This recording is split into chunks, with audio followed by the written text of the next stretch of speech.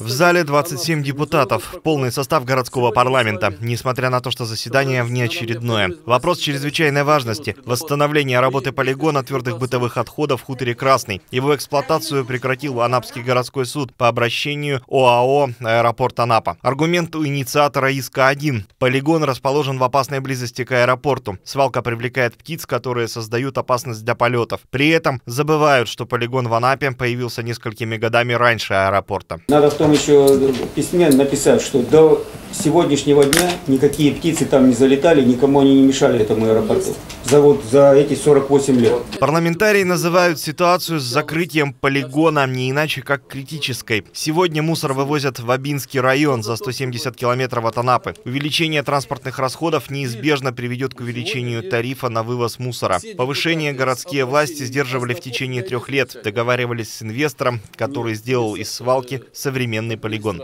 Свалка горела в свое время. И птицы летели, и дым в сторону аэропорта в случае разворота розы ветров шел. И все было нормально. На инвестиционном форуме был подобран инвестор, который пошел навстречу, который вложил порядка 200 миллионов рублей в нашу с вами свалку.